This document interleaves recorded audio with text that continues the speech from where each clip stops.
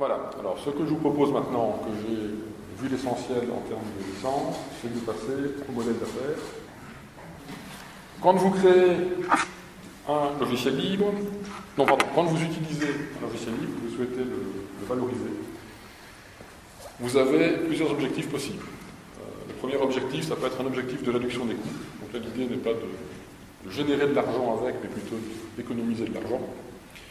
Vous pouvez le publier euh, dans le but de changer les règles sur un marché, et vous pouvez l'utiliser pour créer des chiffres d'affaires, comme toutes les entreprises qui publient euh, du logiciel. Alors, en matière, de modèle de, en matière de réduction des coûts, vous avez un type de modèle qui se retrouve assez souvent, qui sont les modèles d'usage.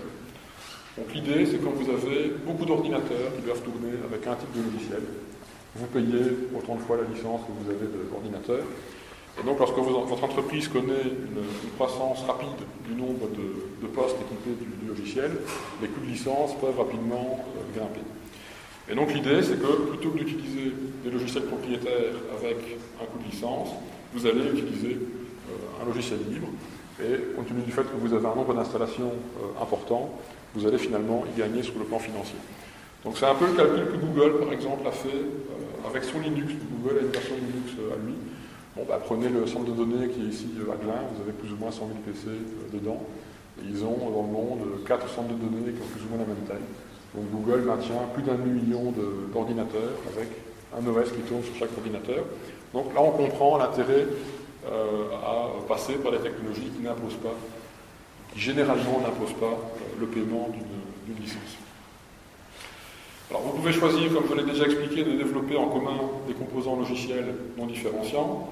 Par exemple, quand Apple euh, a distribué la base de son OS macOS 10 qui s'appelait Darwin, bah, l'idée c'était d'essayer de créer euh, un écosystème euh, autour des sous-bassements de son, OS et de garder la couche graphique qui fait la spécificité des, des Mac comme élément différenciant. Vous pouvez également utiliser cette stratégie en utilisant des licences très, très permissives quand vous avez du code source dont vous souhaitez une diffusion maximale. Depuis de nombreuses années, par exemple, Hewlett Packard euh, diffuse ses pilotes d'imprimante sous licence BSD. Et l'idée, c'est que bon, bah, ils n'ont pas envie de supporter toutes les plateformes possibles et imaginables. Donc eux supportent quelques plateformes bien précises. Et puis si maintenant vous voulez intégrer leur, euh, technologie dans des OS un peu, plus marginaux, eh bien vous pouvez le faire directement en reprenant leur code source, seulement évidemment un minimum de compétences techniques, mais vous avez des personnes qui sont capables de le, de le faire. Alors, deuxième manière d'utiliser du logiciel libre, c'est d'utiliser pour changer les règles. Alors, c'est ce que j'appelle généralement le dynamitage du marché, et ça s'applique à des marchés très stables, tels que des oligopoles très concentrés ou des monopoles. Donc, le cas où vous avez une entreprise qui détient le marché, ou quelques entreprises qui euh, détiennent des positions très stables sur le, sur le marché. L'idée, c'est quoi? L'idée, c'est quelque part l'équivalent logiciel de la politique de la terre brûlée. Alors dit comme ça, c'est pas très positif, mais vous allez comprendre euh, tout de suite. L'idée, c'est publier un logiciel ou un standard ouvert qui est concurrent d'une technologie commerciale dominante qui euh, impose en fait un, une forme de lock-in technique euh, au client. L'idée, c'est quoi? L'idée, c'est de tuer une vache à lait. Pour ceux qui ont fait un peu de, marketing, quand vous regardez les portefeuilles de, de produits de l'entreprise, pouvez diviser le portefeuille de produits en quatre euh, catégories. Vous avez deux exemples extrêmes. Un exemple extrême, c'est le produit relativement émergent, qui impose beaucoup d'investissements et qui ne rapporte pas d'argent, et euh, qui n'en rapportera peut-être jamais. On l'espère que d'ici quelques années, euh, ce sera un produit à succès. Et vous avez vraiment le cas opposé, qui est la vache à lait, le cash-cow. C'est un produit qui est conçu depuis de nombreuses années, dont le, les frais de développement sont amortis, que le marché connaît bien, que le marché achète, et qui génère beaucoup d'argent. Et ce marché, ce, logiciel, ce produit permet de, financer de nouveaux investissements qui assureront la pérennité de l'entreprise et son essor euh, commercial. L'idée ici, c'est quoi? C'est d'affaiblir le concurrent en l'attaquant sur son cache-code, de manière à faciliter une attaque sur un autre marché, ou simplement de se faire ou de garder une place sur un marché qui est très stable et qui est détenu par, euh, par une entreprise dominante. Alors quelques exemples. Ben, le premier, c'est Sun Microsystems et OpenOffice. Quand Sun a lancé OpenOffice, c'était une épée qui était pointée sur une des deux cache-codes Microsoft, qui était Microsoft Office. En fait, quand vous regardez les sources de revenus de Microsoft, vous avez deux énormes sources de, revenus, et je dirais plus précisément deux énormes sources de bénéfices, qui sont Microsoft Windows d'un côté et euh, Microsoft Office de l'autre. Et donc, en, lançant un produit euh, de suite bureautique open source et gratuite à ce moment-là, c'était une manière, en fait, Esperison, de tarir en fait une partie du principal revenu de Microsoft et ainsi pouvoir l'affaiblir sur un marché où la lutte concurrentielle était encore très ouverte, qui était le marché des outils de développement, avec Java d'un côté et .NET de l'autre. Bon, pratique, ça n'a pas marché aussi bien que euh, Son l'espérait, mais c'était malgré tout une des idées qui était derrière ce, rachat. Autre exemple qui est un peu dans le, même d'idée, mais avec une, envergure qui est moindre, c'est le choix de SAP de lancer MaxDB, qui est en fait une, base de données relationnelle euh, open source, et qui en fait attaquait directement le produit de base de données Oracle, sachant qu'à l'époque, Oracle se lançait dans des projets de logiciels de gestion d'entreprise, qui était le cœur de métier de, SAP. On comprend bien la logique. Autre cas un peu différent, c'est celui d'OpenERP, qui est un logiciel de RP open source, et qui lui avait un problème qui était tout autre, c'est que le gars voulait créer un ERP, face à lui il avait SAP, la question c'était comment est-ce que je peux me donner une visibilité et une notoriété suffisante par rapport à une entreprise comme SAP qui est prédominante et qui a une force de frappe marketing absolument colossale, eh bien en changeant les règles. Plutôt que de développer de l'ERP propriétaire, on va développer de l'ERP open source, complètement open source.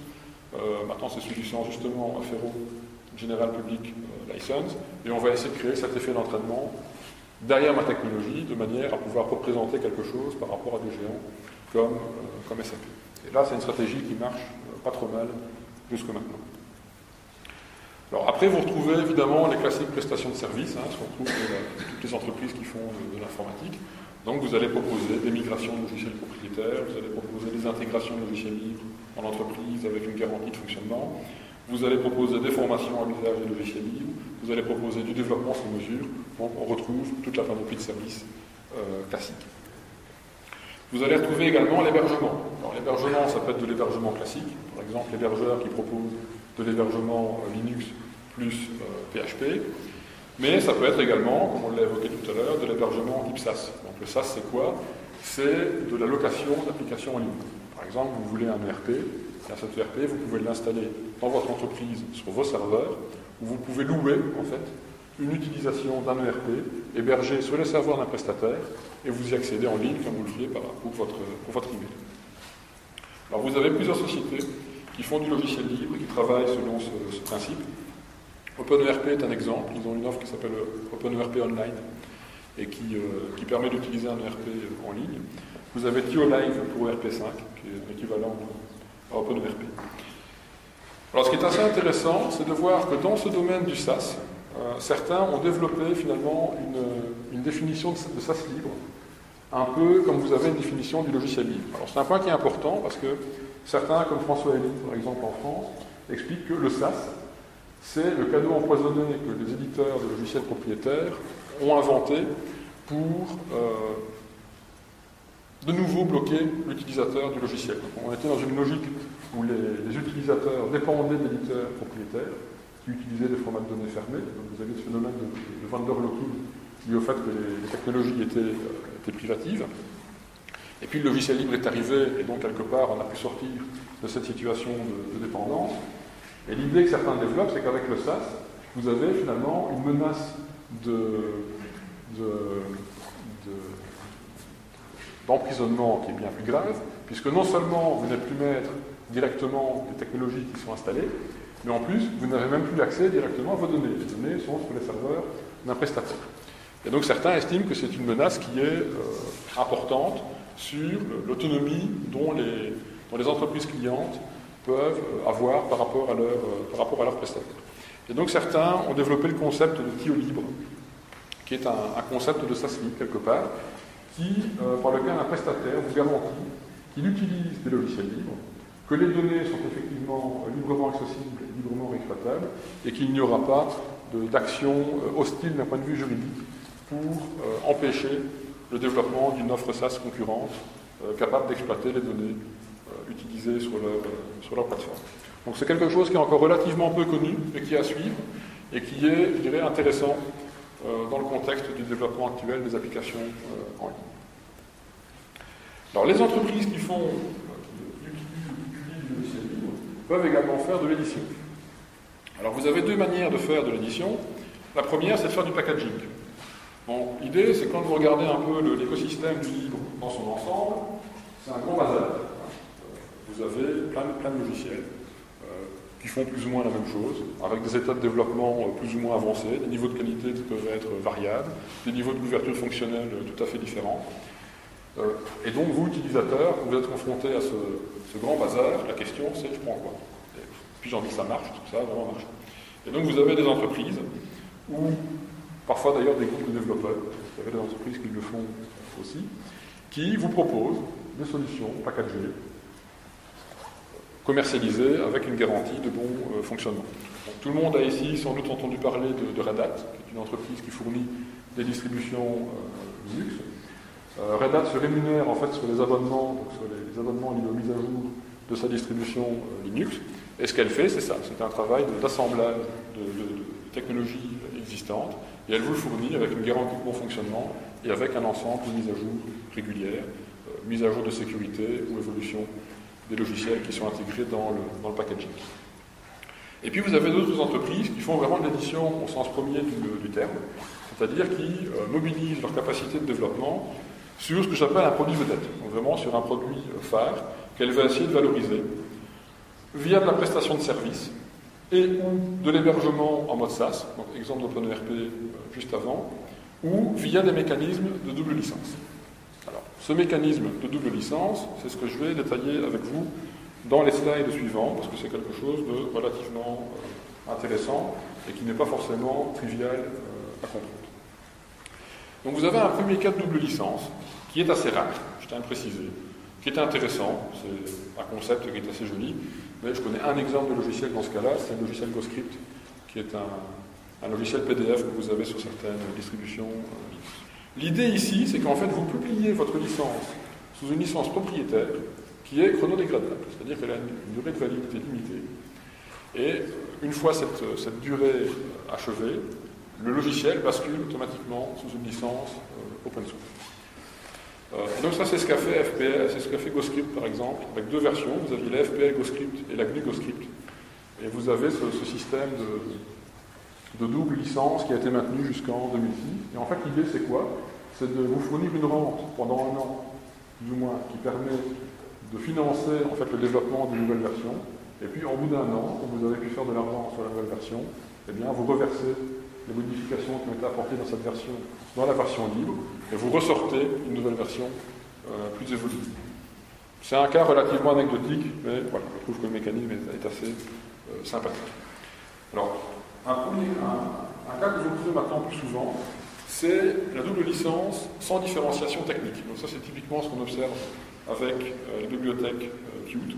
Donc là, vous avez un logiciel qui est publié en même temps, à la fois sous une licence propriétaire, qui est dite généralement licence commerciale, et sous une licence libre. Vous avez ces deux branches qui euh, existent euh, en parallèle.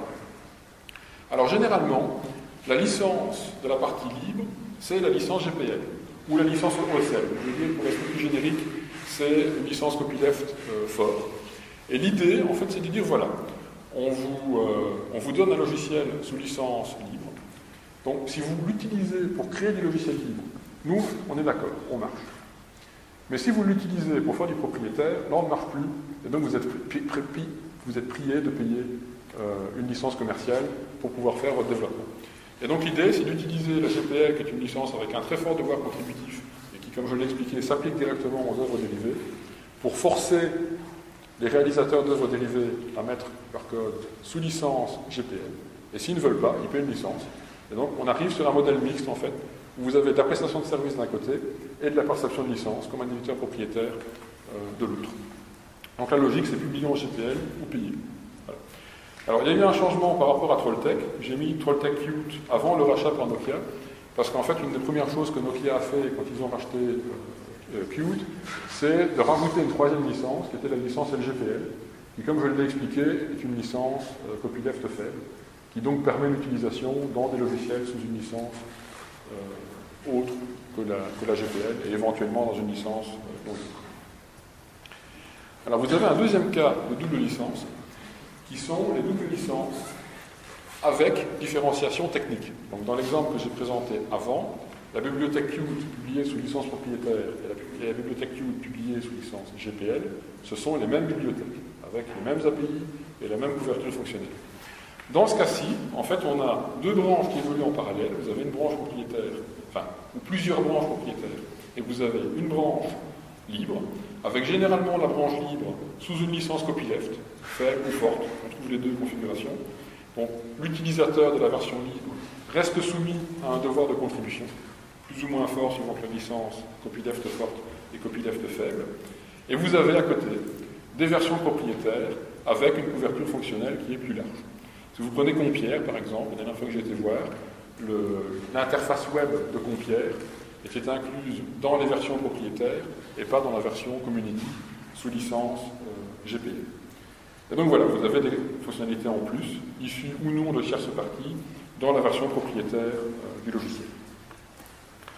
Alors, lorsque vous pratiquez ce système de double licence, vous avez euh, des précautions à prendre.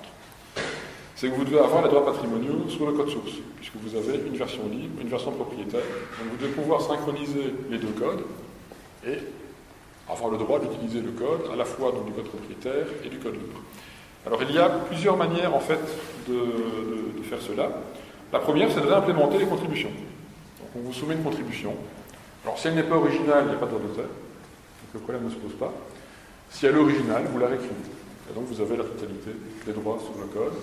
C'est, d'après ce que j'ai pu lire, euh, la voie qui est suivie par MySQL. Donc il synchronise genre deux branches comme ça en acquérant la totalité des droits sur le, code. Vous pouvez également demander aux contributeurs de vous céder ces droits, patrimoniaux, de partager les droits patrimoniaux sur les contributions qu'il euh, vous fournit.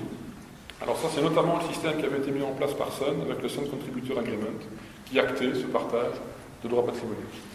Et vous avez euh, une autre manière de procéder qui est de, proposer un incitant financier au partage des droits. tu si tu me donnes le code sous une licence qui me convient, je te fais une réduction sur les développements sur mesure que je développe pour toi. C'est ce que faisait Exo à une certaine, à une certaine époque.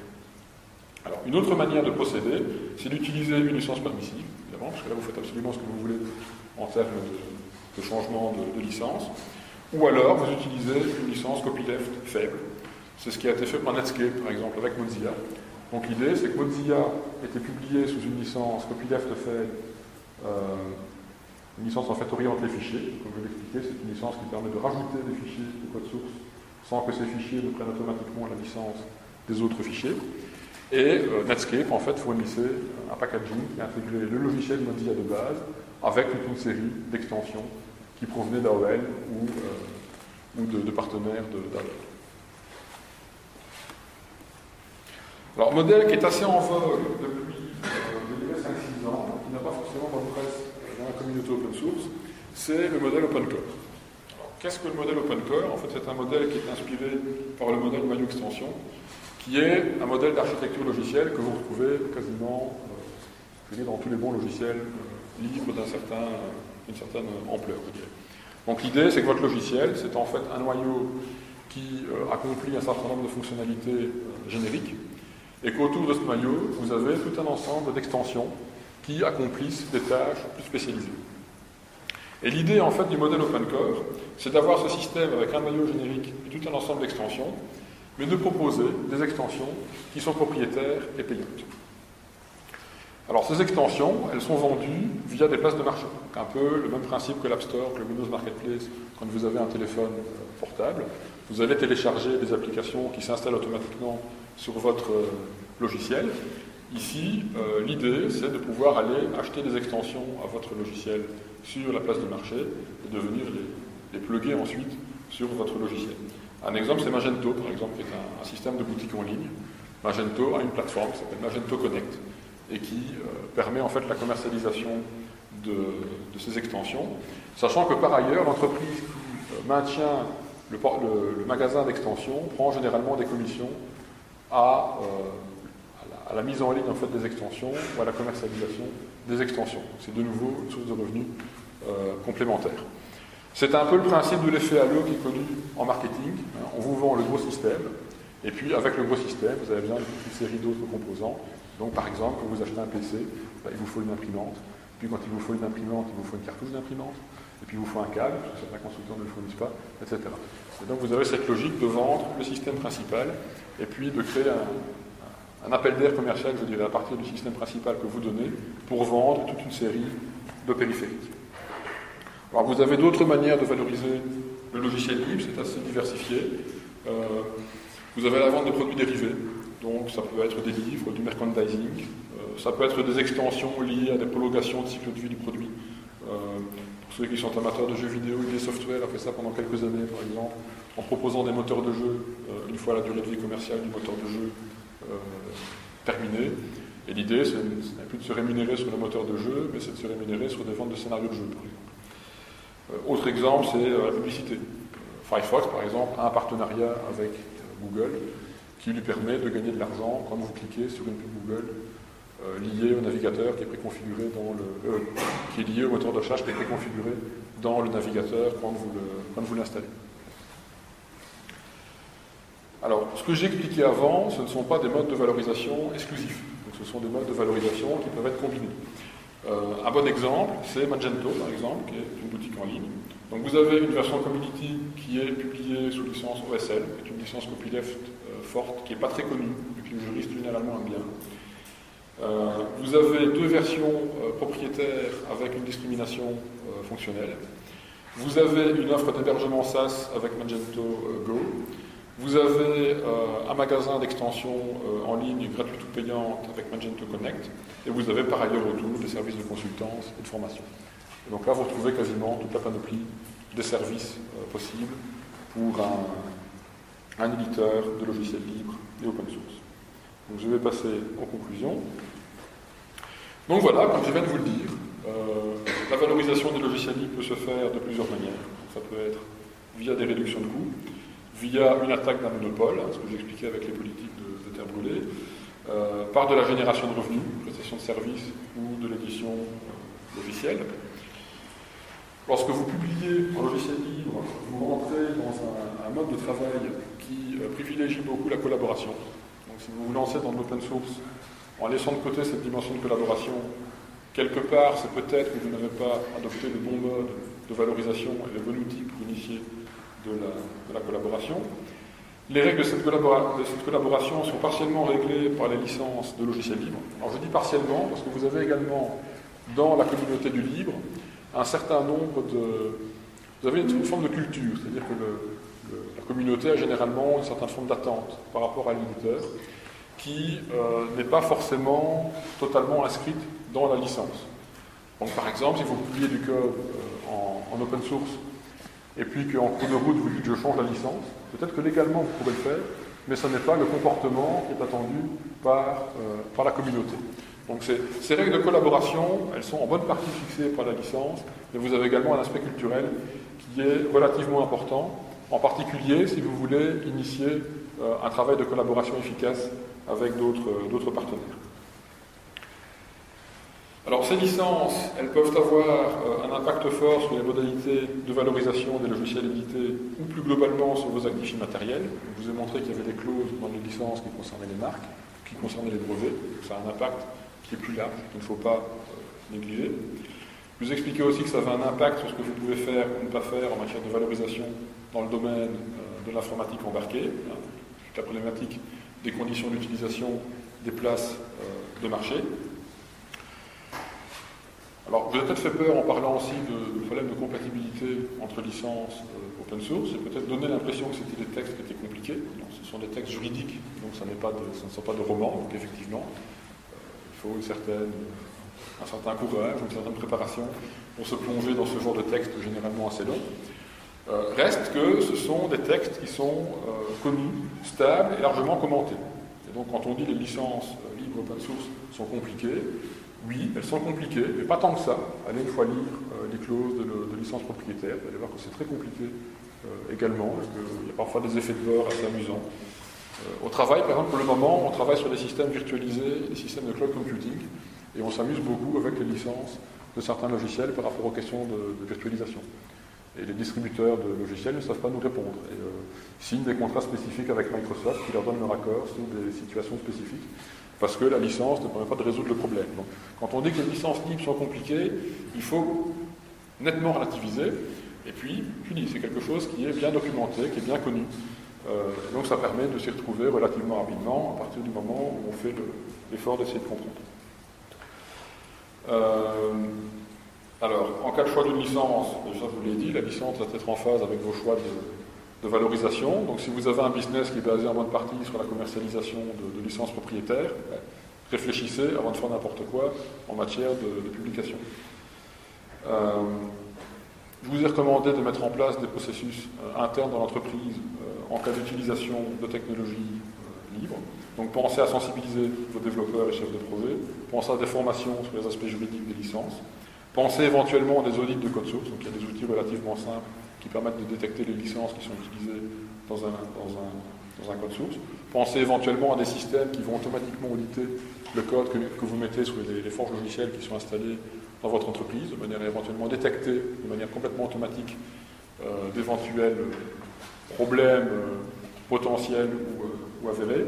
Prévoyez également des processus de, validation en interne pour dire oui, j'accepte l'utilisation de ce type de logiciel sous telle licence, ou oui, j'accepte la publication de tel logiciel sous telle licence. Reste que parmi les gros bénéfices, euh, la publication sous licence libre est un des moyens qui existent pour accroître la collaboration autour du logiciel. Voilà, je vous remercie pour votre attention. Je vois que je suis dans les temps, donc je suis content. J'espère que le sujet vous a intéressé. Si vous avez des questions, n'hésitez pas. Nous avons encore un peu de temps.